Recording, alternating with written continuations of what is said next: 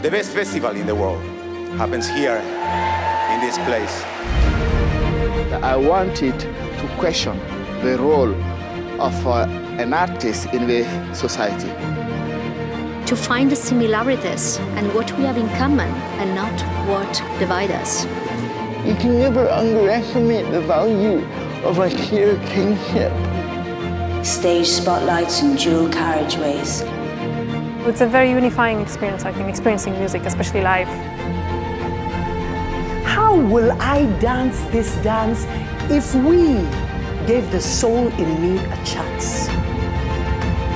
The whole feeling of coming together and we need to feel. Somehow there's a language that will eventually bring us together.